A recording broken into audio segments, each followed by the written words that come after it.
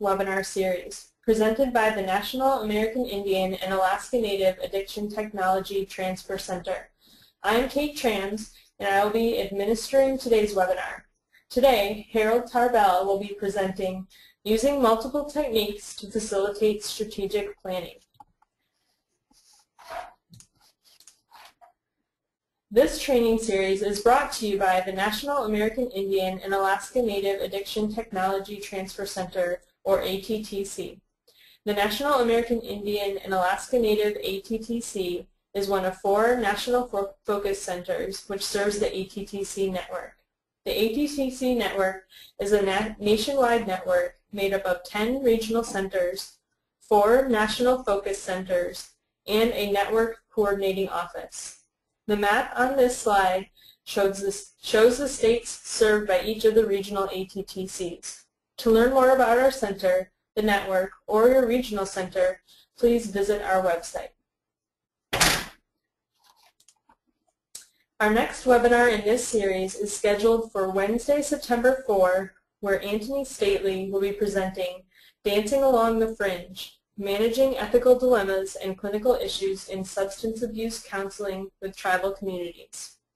In addition to this webinar series, we offer another series titled the Essential Substance Abuse Skills webinar series, which provides an overview of competencies from CSAT's TAP 21 publication, Addiction Counseling Competencies. The next session in our Essential Substance Abuse Skills series will be held on August 21 from 1 to 2.30 Eastern Time, where Kate Speck will present on basic counseling skills. For more information on our webinar series, you can contact Karen Summers at the email address or phone number provided on this slide. Our center is a NAADAC certified educational provider and we'd be happy to provide you with CEUs. The cost is $10 to do so. The CEU request form, along with a copy of the PowerPoint, will be sent to you within 24 hours of today's session. If you don't receive the email with handouts within two business days, please contact Karen, Karen Summers using the information provided. In addition to the PowerPoint handout and CEU request form, a consent form and information about participation in our GPRA evaluation will be attached to the email you receive following today's webinar. We ask that you fill out the consent form and return it by either email or fax.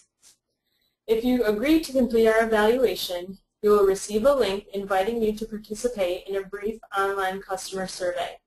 This survey asks about your satisfaction with the event and will take less than 10 minutes to complete. GPRA stands for the Government Performance and Results Act and SAMHSA asks us to evaluate our events in order to comply with this act and provide improved performance assessment and accountability. SAMHSA uses information collected by these surveys to determine how many people have attended our events, your satisfaction with our events, how useful our events are to you. We hope you will assist us in gathering information about our services by participating in our evaluation. Before we start today's session, I'd like to give you a quick overview of the GoToWebinar system. To hide or expand your toolbar at any time, you can click the red arrow on, in the top right side of your window. To expand your screen, click the middle button in the top right-hand corner. You will be muted for the duration of this webinar. Please use the question chat box to share your questions and comments. Your questions will only be visible to me, the webinar moderator. I will pass your questions along to the presenter at appropriate points in the presentation. For today's presentation, the presenter will be asking a few poll questions at various times throughout the presentation, and you will have an opportunity to respond by choosing from a multiple choice list or by typing a response into the chat box for open-ended questions. We appreciate your participation in these polls as we anticipate that they will enhance the presentation and we also would like to encourage those who choose to respond to keep answers brief so we can hear from as many participants as possible. We would also like you to be to you to be aware that this webinar records participant attention time. If you minimize the webinar or are working in another window, the system will record your participation as inactive, which may be reflected in the number of CEUs received. The opinions in, expressed in this presentation are those of the presenter and do not necessarily reflect the official position of CSAT, SAMHSA, or the U.S. Department of Health and Human Services. Today's webinar is presented by Harold Tarbell. Harold is a member and former tribal chairman of the Akwesasne Mohawk tribe from northern New York State, Ontario, and Quebec, and is currently living in Vancouver. As you can see, Harold has many years of experience relevant to today's topic, including his work co-facilitating the NAIAN ATTC strategic planning process. Please join me in welcoming Harold Tarbell.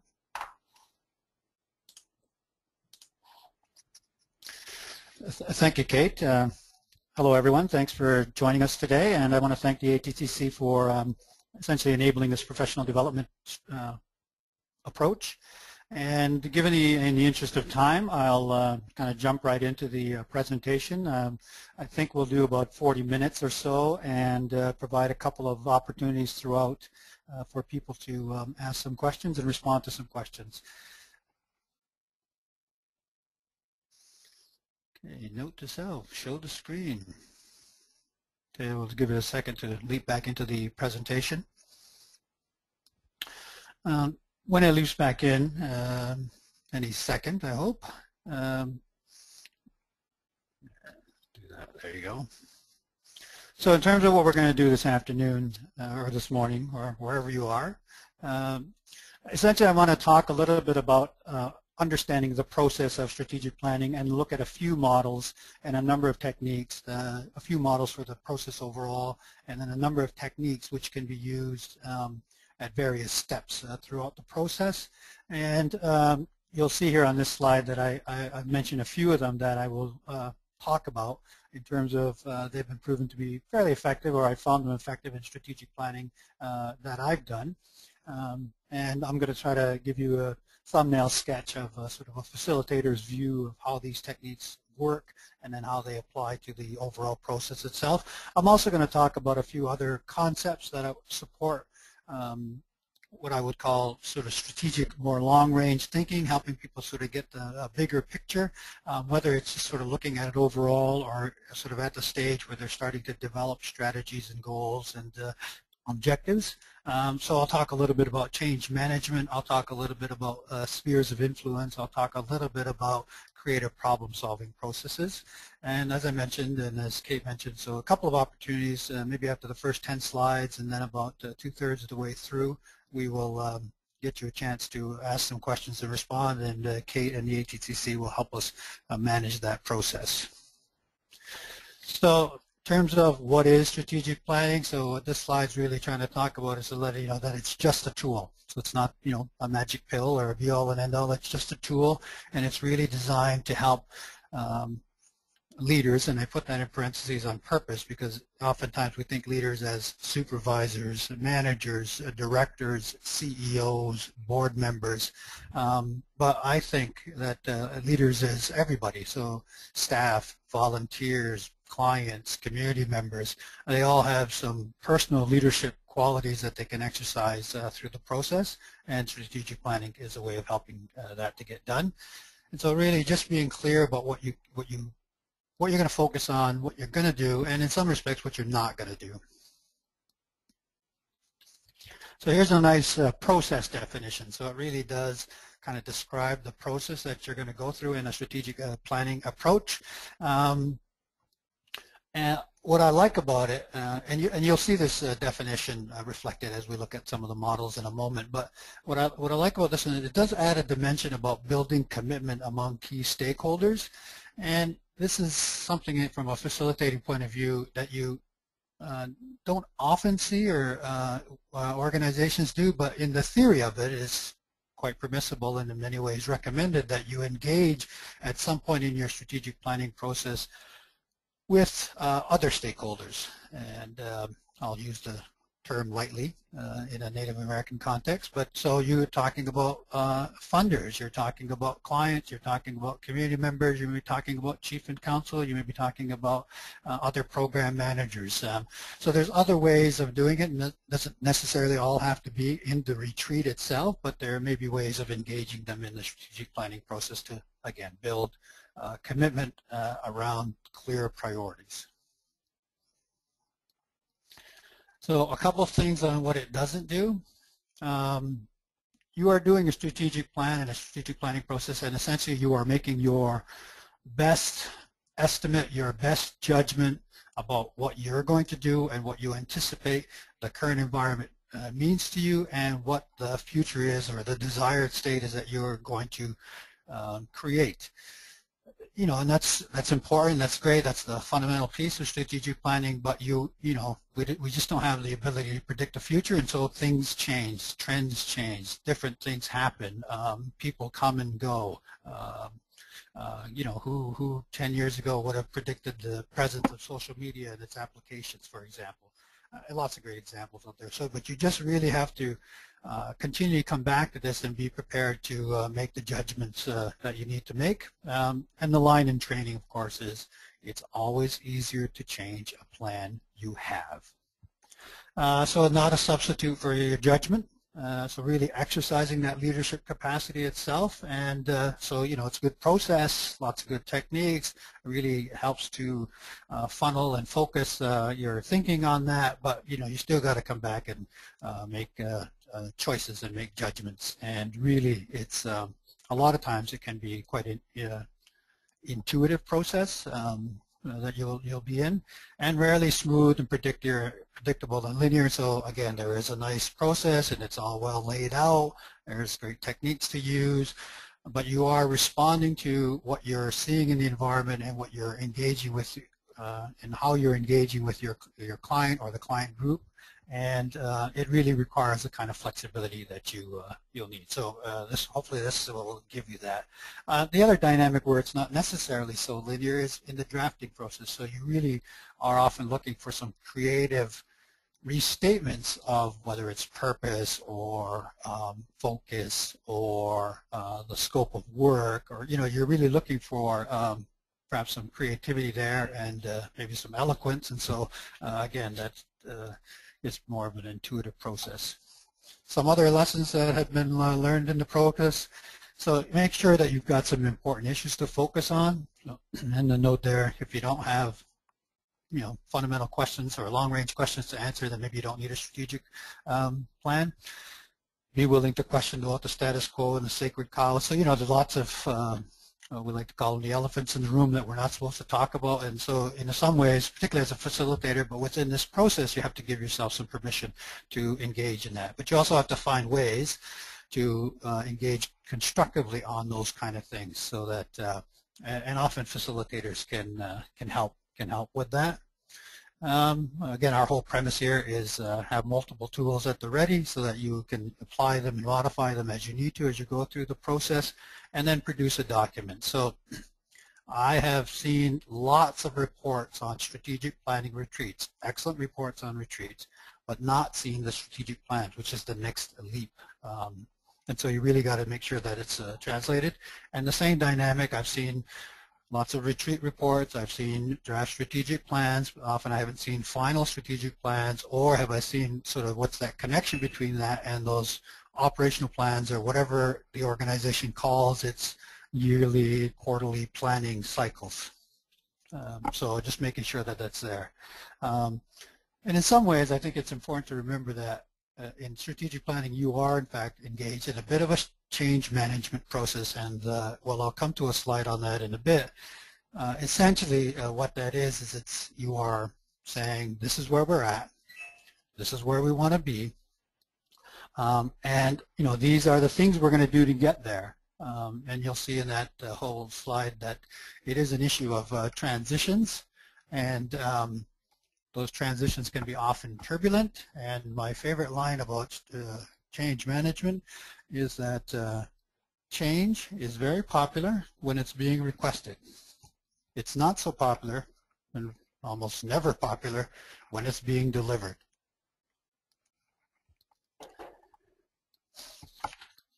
So this next slide, um, here's uh, three samples, three models of strategic planning. First one, Nonprofits uh, by Allison and Kaye. Second one, Preferred Futuring by Lippitt. Uh, two P's and two T's. And then the third one, simplified uh, strategic planning uh, by Bradford and Duncan. And um, while they each kind of have different steps, I think as you look at that, you'll see that they are basically uh, a fairly similar cycle. Um, and to me, when I look at these, they they essentially are the planning process, right? So, and planning generally is you get ready, you do some pre-planning, you do the formal planning piece, you then figure out how to implement your plan, and you do some some form of assessment or evaluation or monitoring to make sure that that what you thought was going to work is in fact working the way you thought it was going to work. Uh, another uh, framework for thinking of this is often a problem-solving process, and so uh, in a problem-solving process, uh, essentially you've got an issue. Uh, you're asked then to do some research on facts and opinions uh, to make sure that you, and then restate the issue. Because um, what often happens is the issue is often not what it presents itself as.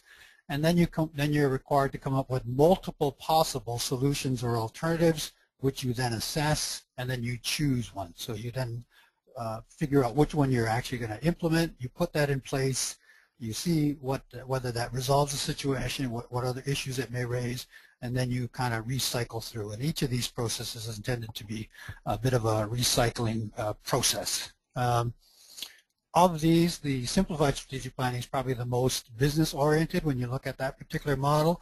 And I would note that when you look at the definitions of strategy and strategic planning, it often talks about sort of the fact that this emerged um, really out of the military work around strategy and then went into some of the larger corporations and then sort of has evolved to sort of the multiple strategies and models that you see uh, now. And this next slide is a fourth, where am I here? There we go. And this next slide, which, you know, hopefully is going to come up. There it is is a fourth model. So the Grove Consultants out of San Francisco, they have a great model. I'm going to actually use their model, a couple of their templates quite a bit. Um, I, I, like it in a couple different ways, um, uh, but I particularly like it because it comes with sort of these graphic templates and they're fantastic for um, artistically challenged facilitators like myself and so um, uh, and it kind of adds new whistles and bells often to um, what for many of us, if we've been through lots, sat through lots of strategic planning process, are some fairly standard steps that need to be done. Um, and so I kind of I kind of like them uh, quite a bit. Um, uh, it, I just like the way that lays it out, and it kind of does talk about sort of all the things you're reflecting on, and it does talk about this whole idea that essentially you're opening yourself up to some information and some reflection, and then you're making some choices as you sort of move to creating strategies, implementing change, and in fact what they call living the vision.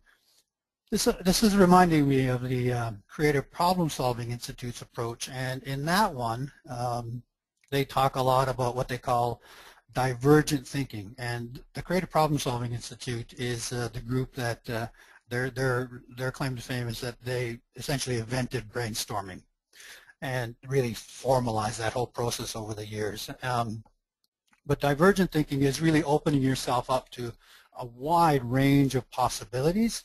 And then convergent thinking is when you then start to focus in.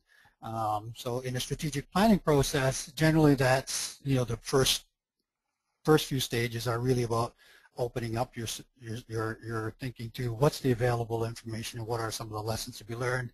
And then the, the convergent is really then focusing on priorities and strategies and goals and outcomes.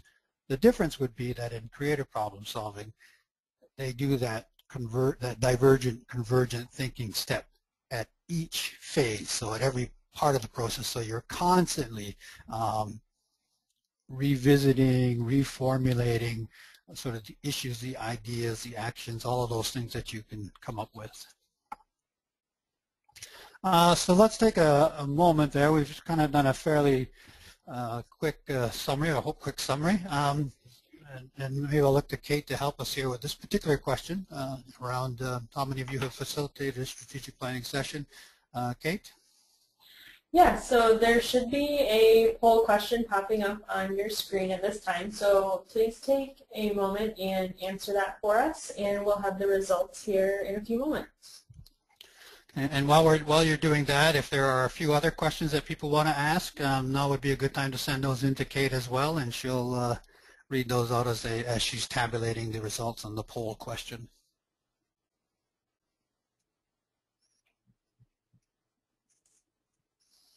And just so you'll know the, the, the, the technology, at, while I have the option of sort of going uh, out of my screen uh, to, to look at the um, sort of the, the webinar site itself so I could see the process, I'm, I'm choosing uh, just to stay on my particular screen, so we're going to rely on Kate to uh, feed those questions to me.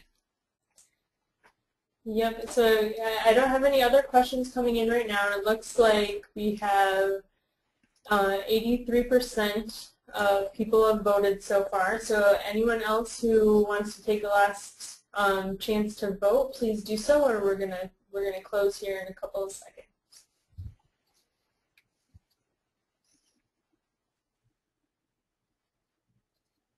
All right.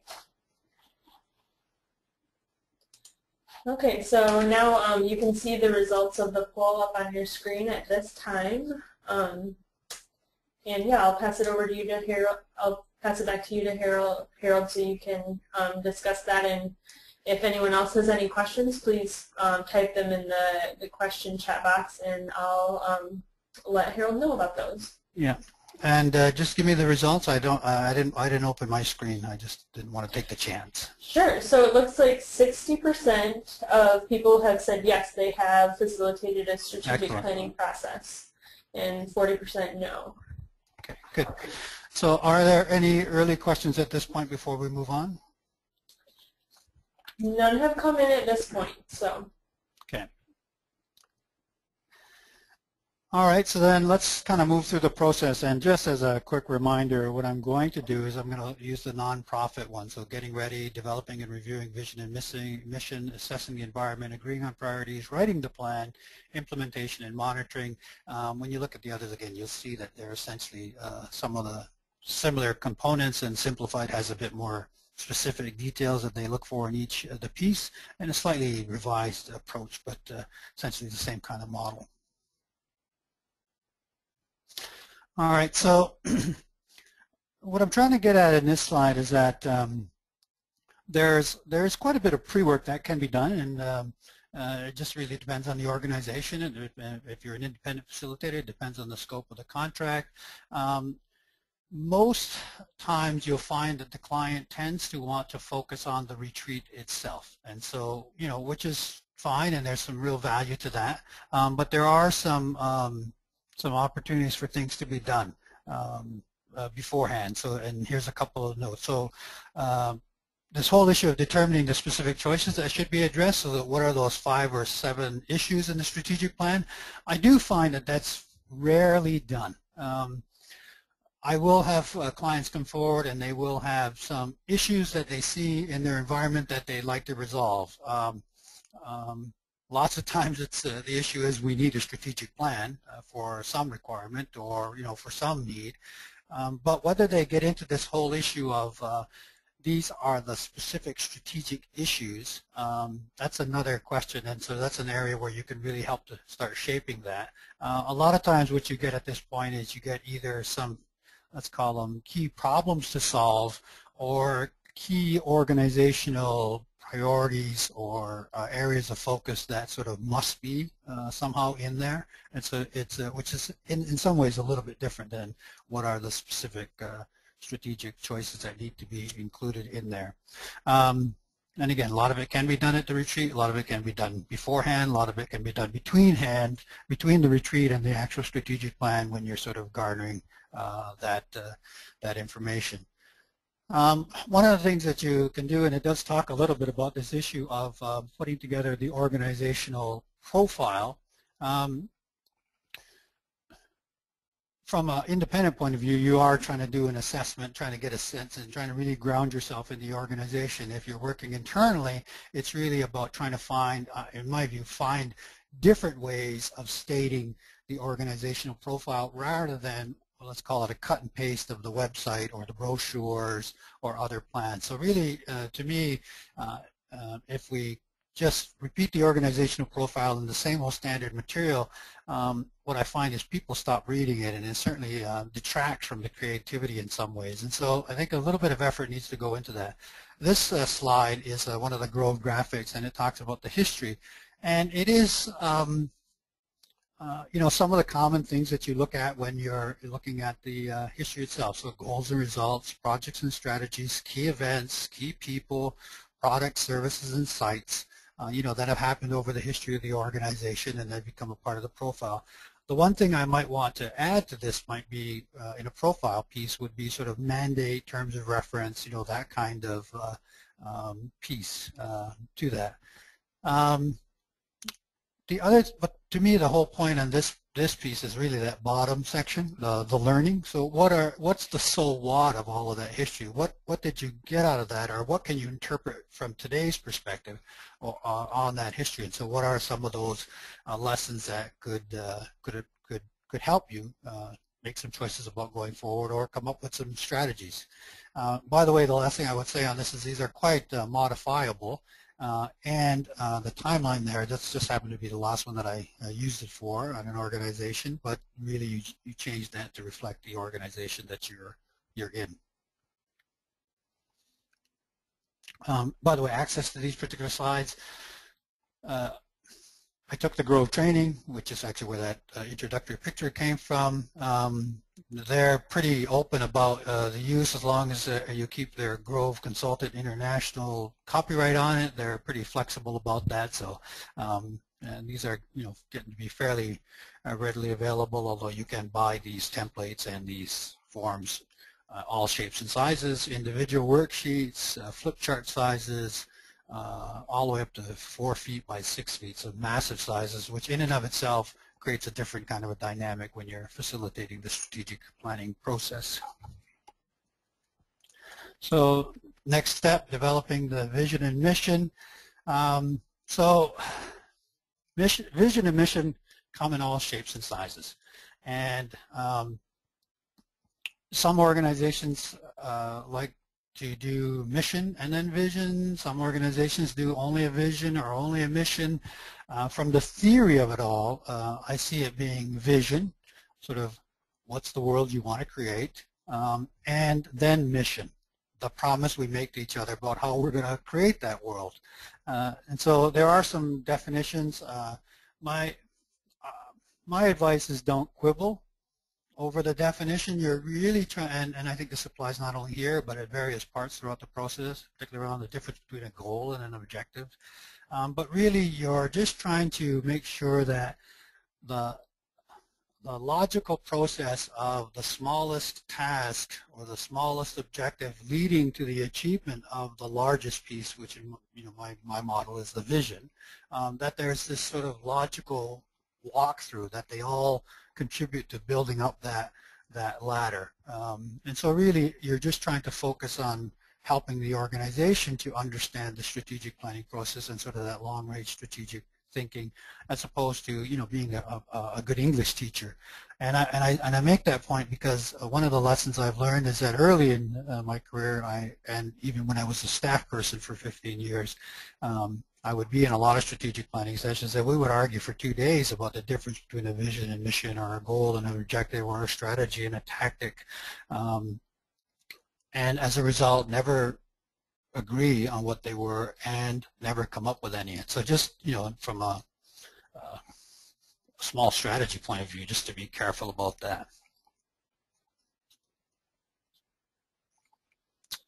Um, by the way, I've also seen visions and missions in a wide uh, amount of length. Uh, the largest one I ever saw was uh, three pages, and the shortest ones were essentially taglines, uh, you know, little uh, short little phrases that uh, people were using. And really, to me, it's what it's what works for the organization. So what really helps them to sort of connect to this ideal of long-range planning, priorities, responsiveness to the environment, and you know, making choices about what is they're going to do for each of those things that leads to the achievement of the vision and the mission. Uh, a couple of techniques. Um, generally, Uh, when we look at this uh, next slide, um, these are all ways of sort of taking a large group, whether it's 30 people or 40 people, and then finding ways to sort of um, uh, do, well, the theory is called the large group interactive approach, where you take, you do small work within a large room, and then that sort of builds up into a some kind of consensus. So from a from a drafting point of view in the room, uh, this whole idea of having people draft their own version and having them work together with a partner, then putting two teams together, then having half the group work together, then the whole work group work together around drafting. That's one of the techniques, pretty common technique described in a lot of the materials. Oh, and by the way, each of these uh, models that I talk about generally comes with some sort of workbook form and has tons of other uh, techniques as well. Um, so that's one way. It's uh, that's you know uh, drafting by the committee of the whole is a pretty tough way to go. I've um, never had much success with it, but it is a you know it, it, it, has been successful on occasion. I prefer this other one, which I call the practical vision uh, exercise, and um, in in the United States it's called the technology of participation. Up here in Canada, it's called the it's mostly done by the Institute of Cultural Affairs, uh, both you know really good. Uh, but essentially, it's a process of having people work individually and then in groups to come up with a, a, a bit of a table, um, which can be either as a whole the vision, or you can look at the titling cards that are in there. And that's essentially the steps uh, that are there. Um, what I would point out is that often when you do this exercise, people don't like the fact that you make them do 10 and then you ask them only to pick five. Um, but if strategic planning is about choices and regardless of resources you have, you still have to make choices. This is kind of a nice little way of sort of reinforcing that idea um, in the participant's mind. Um, I would say the other um, point I would make here around the uh, the facilitation technique is this idea of when there is an existing uh, vision or mission statement. Um, and, and frankly, from a facilitating point of view, an existing document is often one of the more difficult things to facilitate and make quite interactive.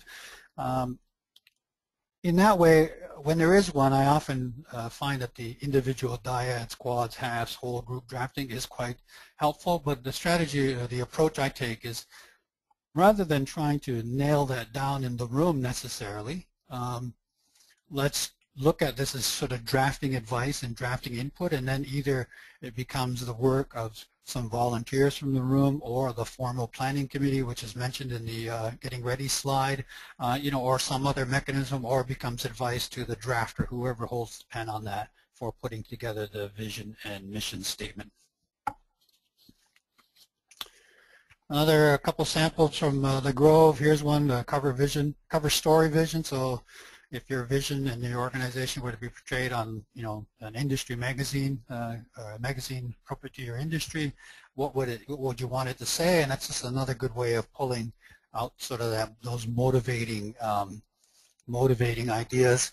Uh, you know, there, I know there's lots of uh, uh, back and forth around whether visions are effective or not, or you know whether. Uh, um, but uh, I, I, was in preparation for this. I came across across a quote which I thought was pretty pretty impressive, and uh, it was by Einstein, who said, um, "Imagination is more important than knowledge." So I was quite struck by that, and sort of this whole idea that yeah, what we envision, we can then construct. I thought it was quite a powerful example there.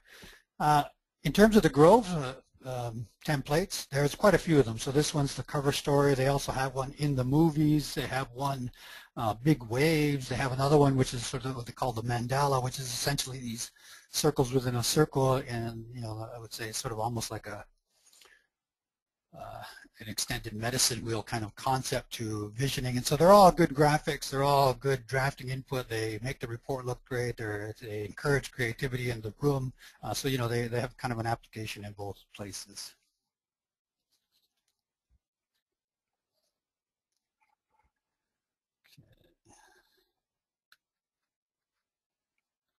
Okay, so next step, assessing the environment. So essentially that is that whole thing of taking stock and uh, really looking at it. And the ideal is not just to, you know, be able to, uh, you know, put a label on everything that's happening, but it's really about looking at some of those those trends, those positive and negative trends, and then figuring out what they might mean for you. And there's a couple of of, uh, of techniques for doing that. The um, and this idea about what it might mean for you. So it's really trying to find a way to to see how much it'll affect your understanding of the issue or the uh, development of the strategies, goals, and objectives. And there are techniques for doing that. Here is the Groves context map, which just shows um, the general technique they talk about is what you want to look for those positive and negative trends in the political, economic, demographic, social, technological, and legal environments. So that's a nice place to start. Um, in this model, the, the buildings in the middle, that's you and your organization, your facilities, your programs. Uh, we like to talk a lot about, particularly in uh, Native American work, about our people and our community members and sort of their needs. So this one gives you an opportunity to that. And then, of course, the uncertainties, you know, just things we're not sure about. It just gives you a place to park that as you're sort of working your way through the process. It's kind of one of those things about the sort of the lack of a you know, where it's not so linear sometimes. The other thing about this is that, you know, those are good starting trends, but really when you're looking at this, you often find people talking, uh, this tends to try to focus outside or externally. Uh, oftentimes people will then look, uh, use this as a way of looking internally as well. Uh, the next one is the sort of the um, famous SWOT, internal strengths and weaknesses, external opportunities and threats. And so, you know, generally, uh, I think you've all been through the process where, you know, you come up with a good list. You might even rank those lists through a DOTS exercise or some other, uh, you know, uh, ranking process in the room. Um, and those DOTS exercises and ranking techniques are really important because uh, it's pretty difficult, uh, given all of the pieces you want to do in a strategic planning process, to arrive at the proper consensus and the proper definition of each of these particular strengths and weaknesses and opportunities and threats. And so it's just a nice way of uh, getting some early uh, early input and some, in a way I often call it not necessarily prioritization, but just ranking, just a sense of the room in terms of what are the important issues. Um, DOTS exercise quite quite straightforward. Uh, you get a if you depending on the number of choices you have a number of things on your list. You give the people about a third of those notes, and they can vote what I call strategically. They can put all their dots on one thing. They can spread them around. Um, never in my experience have I seen anybody take all their dots and put them on one thing. Uh, generally, people uh, have an in, you know multiple interests about what they want to see done, and so you'll see that happen.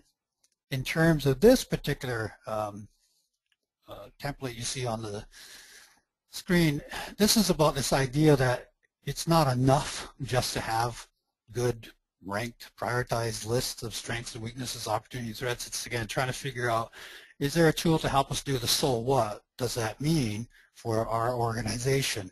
And this one really tries to do it. And so I've tried to use sort of a stoplight sort of view. Uh, if you think about it and you look at this chart, so the green areas where the internal strengths and the external opportunities, so both positives kind of come together.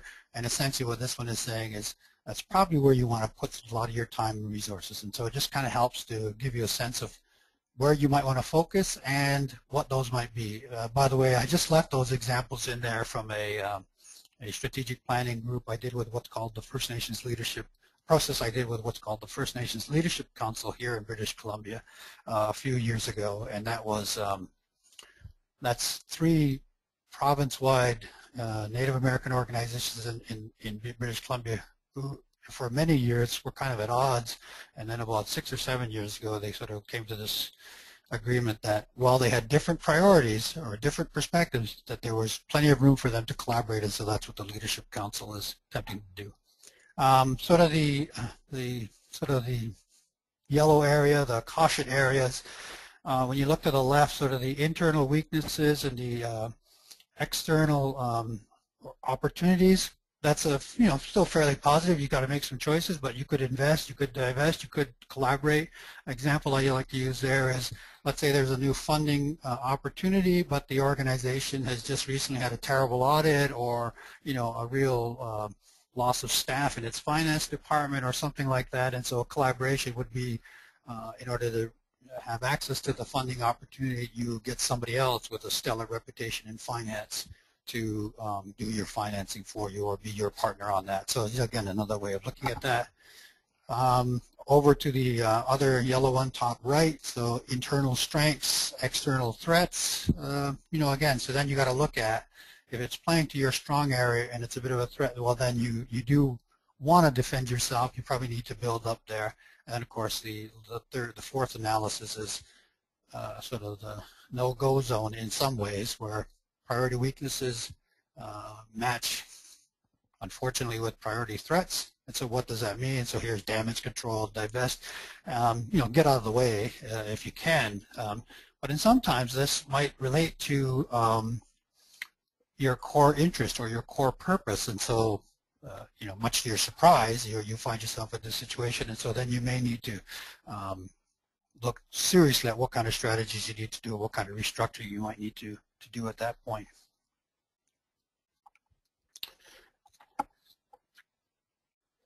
Uh, agreeing on priorities, of course, so this is uh, this covers a lot of ground, um, and it's often an area where it's not necessarily so linear, and it gets a little bit fluid. And uh, in a retreat, people get a little uncomfortable, but um, you know, there's nothing wrong with letting a group sit in its own stuff, as we like to say in training. Um, in a retreat, it's really about pointing out what the issues are, and those come from a number of areas. So they've been issues that have been raised in the discussion in the room. Uh, they may have been identified by the management beforehand or in huddles, uh, you know, during the discussion, or which you as a facilitator may have garnered. And really it's this whole idea of finding a way to um, uh, state them in fairly um, positive, proactive ways. Um, uh, you know, I'm almost starting to find ways to word them in sort of that strategic direction, sort of future long, uh, long-range oriented kind of, of view. Um, and then when you get into the actual strategic plan itself, uh, you get a bit more uh, formal. This next one is a nice uh, definition of a, a strategy. I kind of like it because it's a nice non-sports definition or metaphor, um, which plays very well sort of for a lot of the West Coast tribes, sort of given the canoeing tradition. Um, so it's not a response to short-term fluctuations in operations or environment. Strategy deals with the predetermined direction toward which these quick responses are pointed. It's concerned with the longer-term course that the ship is steering, not with the waves. And so what often happens is you, you get this whole issue of strategies and tactics and then actions and tasks, and people really tend to want to get uh, into those details a lot of times. From a strategic planning uh, point of view, and when I show you the Grove graphic for this one, which has nice whistles and bells to it, you're really looking at sort of the goals and um, uh, objectives piece. Um, but you know, if people have ideas, and that really, uh, you know, just a good opportunity to get them to get into to let them share those ideas, uh, and then that can feed very well into sort of implementation planning a little bit later down the road. By the way, some key examples where strategies emerge generally, I've been finding it's areas like governance, administration and management, a small G government. So how do we how do we run our uh, how do we govern our operation? Um, administration and management, sort of that day-to-day -day stuff. Finance and sustainability are another big area. I'll call them sort of another group is community development or sort of social development uh, areas or focuses, health, education, jobs. Um, youth, often a huge area. Uh, there's a number which I would say fall into sort of program improvements as well uh, in terms of some of those critical issues or strategic directions. And uh, often we have patient access or we'll have things like holistic healing approaches, uh, you know, the incorporation of culture and tradition, uh, you know, all of those kinds of pieces. Well, those are generally some of the uh, ones that have uh, appeared. Now, um, I did actually send some notes out prior to this to a few people who work in the field and actually didn't get a lot of responses, so I am going to ask you a question about, um, particularly from the, let's go to the addictions and substance abuse field, uh, what, what things you've seen emerge. Uh, there are a number of um, concepts as well that I, I don't always introduce them, but I generally try to find a way to introduce you know, one or some of them in the process, uh, and just as a way of uh, what, what I hope is a way of helping people to see this sort of more strategic, more long range, more big picture point of view. And so there's a number of um, concepts and, and, models. So just as you look at this, here's a, a, nice definition of strategic planning and op versus operational planning, and it's pretty straightforward. And that is one of those things you apply when you're looking at um, the issues that are emerging. Uh, and so as you're trying to figure out what, what are you going to focus the discussion on or the, the, the retreat on or the uh, plan on, and you're, you're really trying to assess what those are from this point of view is are they strategic? So are they fundamental and long-term? Are they more operational, which are more sort of work planish, more you know day-to-day, -day, more uh, you know quarterly, annual kinds of ongoing work that needs to be done, or are they crisis issues? And crisis issues are often those things which are threaten the survival of the organization, whether it's financing or uh, staff changes or internal conflict or, you know, I'm sure you could come up with a dozen examples of crisis issues. Uh, the important thing to remember is that when you're, by the same token, if you don't have any fundamental choices to be made, then you're not maybe not don't necessarily need a strategic plan. If you've got too many crisis issues, um, probably not a good time for strategic planning as well because you're really then focused often on the survival of the organization. And I have seen situations where strategic planning has in fact led to crisis in the sense of uh, we did one a couple years ago which called on this organization um, to really step up its competency in its particular field and to change a, a, a, conflict relationship it had with a major stakeholder and funder in the field and it had that conflict for about 15 years and they you know many recognize the importance of making that shift from a strategic point of view but a couple of their founders couldn't make the shift um, and in one way I think it was a sort of almost like a a political orientation they couldn't get out of. And in another way, it was this issue of competency because um, as once you get once you have no common enemy, then it really comes down to your competency and, and capacity to deliver on the subject matter. And so they had this sort of dual-edged sword that they were dealing with, and it, in effect, affected them for about a year and a half um, before they were able to get back into any semblance of strategic planning. Uh, and in fact, the strategic planning retreat at that point was probably more team building than strategic planning, although it did uh, help to shape shape the uh, strategic plan or the revisit, revisiting of the strategic plan. Kaye, how am I doing on time? Um, so it looks like we may have to move fairly quickly through the next okay. couple um, uh, of sections. And I was just going to suggest when we get to that next poll question that we have people submit their answers um, and, and we will gather that information and send that out along with the, the other items in the email we'll be sending rather than going over them now. Okay. Yeah, that was a challenge. I, have a great, as I was mentioning earlier, I have a lot more sympathy for all the presenters that I've made hurry up as, a, as a moderator over the years. Uh, another example then, and I'll just move through these really quickly, uh, this whole issue of uh, ends versus means, so it's another example of, uh, another way of sort of getting them to conceptualize vision versus uh, mission or um, goal versus um, objective or you know objective versus activity. So just another way of uh, helping them to look at that. Um, you will note um, ends relate to the purpose, means relate to the to the so maybe the, the, the what and the why, and the means relate to the how. Um, and there's a couple of slides here which um, talk a little bit about um, uh, some examples, and we won't do that at this point, but uh, the answers are on the next slide. Um, and it may be useful when you look at this, uh, if you want to use that sort of technique, uh, to just adapt it to the industry in which you're working.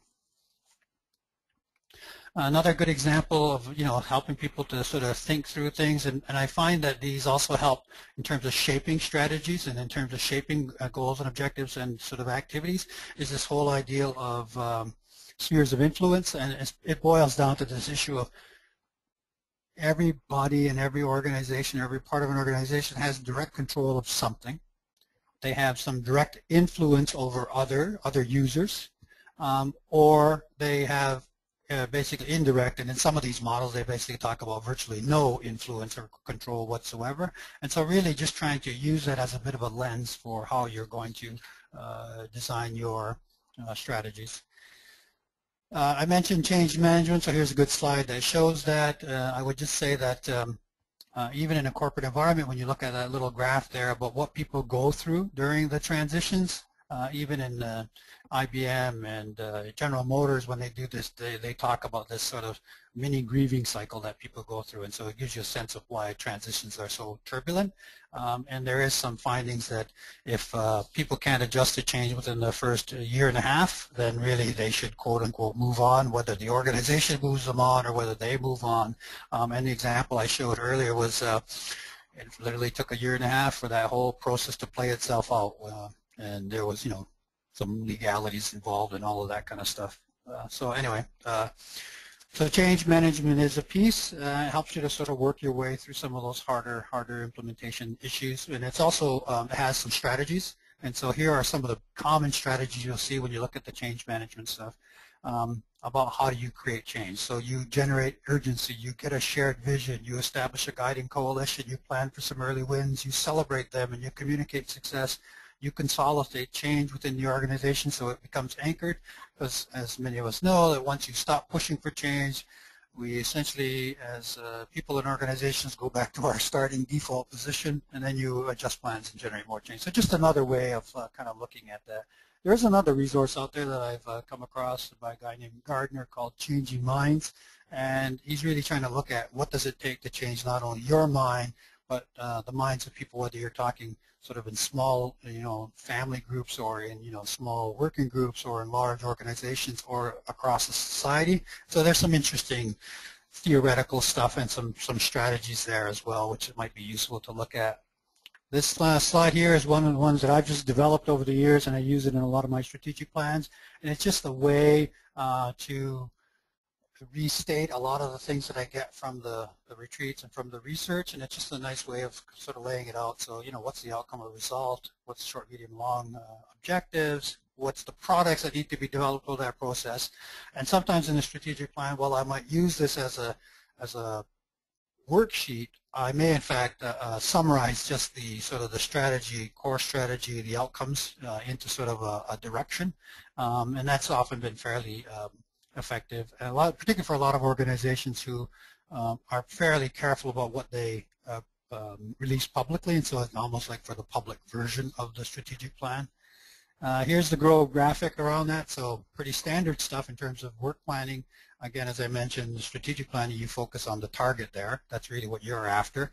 Uh, but generally, you find participants who have ideas on all of these things, particularly around some of the more detailed activities they'd like to see. Um, and so it doesn't hurt to have that uh, fed into the process as well. And so you often see some strategic plans, fairly detailed uh, work plans attached. Uh, here's a nice description of, you know, goals, objectives, outcome measures, activities, and tasks. Pretty straightforward.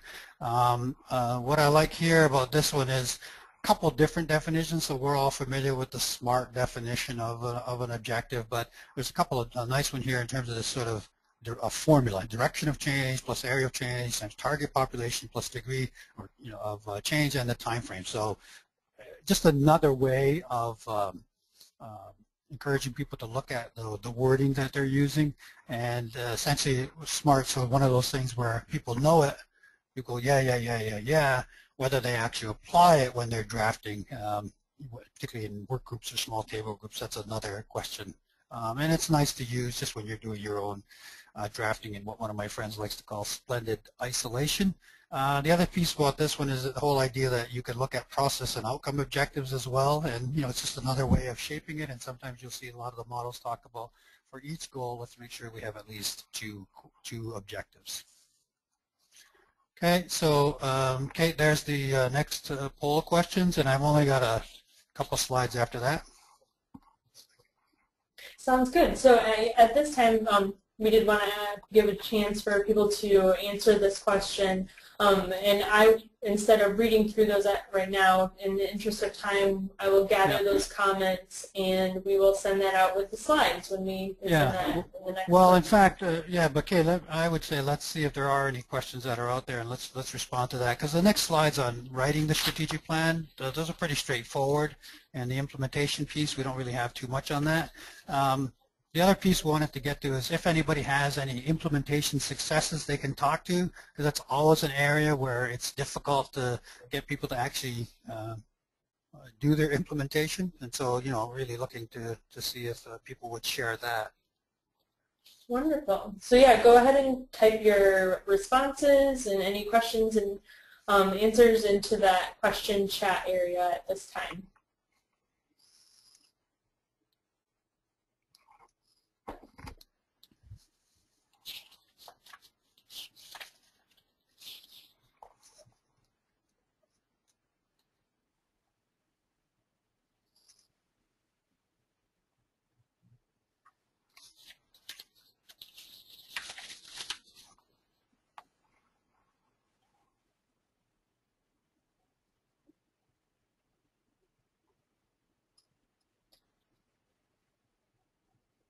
So we may just want to move along at this point um, with the Okay. rest of the presentation, and then um, if any, feel free to drop in any questions at any time, and um, we'll have some more time at the end to go over those then. Okay. All right, so we talked earlier about making sure there is a, a, dra- a, a document that's drafted and then sent through the review and formal approval process. Here's a nice outline, you know, which you're, um, you know, quite uh, free to uh, modify, individualize as you need to do. To do. Um, the program and management goals, which are down near the bottom, again, that often gets into some fairly specifics, and you know, um, I- don't often do one where I sort of go through every every division of an organization and develop those. That's often a piece we leave for the um, implementation planning. And then implementation planning, of course, is just, um, you know, what are you going to do? So whatever that is, whether you do operational planning or quarterly planning or business planning or how, however your organization does it, that's really what the implementation planning needs to sort of fit hand in glove with. Um, it's always a challenge where um, we ask people and they commit to doing it, but often don't do the monitoring and evaluation, and so you know you get to that situation where the plan sits on the shelf. I did I did one group where after three years, uh, if they had done what they had said they were going to do, um, they would have been the 17th time they were looking at the plan, and essentially when I asked the question, only about a third of the people in the room had ever seen it once, and not even all the managers had seen the strategic plan.